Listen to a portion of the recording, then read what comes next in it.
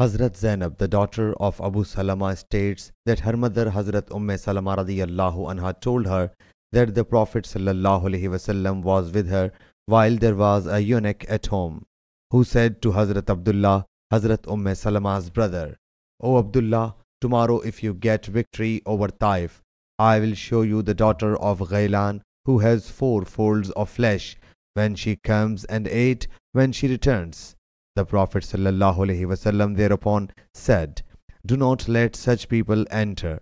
Imam Bukhari says, Taqbilu bi arba'in means four folds on the belly. She came with them and Tadabbiru bi thamanin means the age of those folds which cover the both sides until they meet.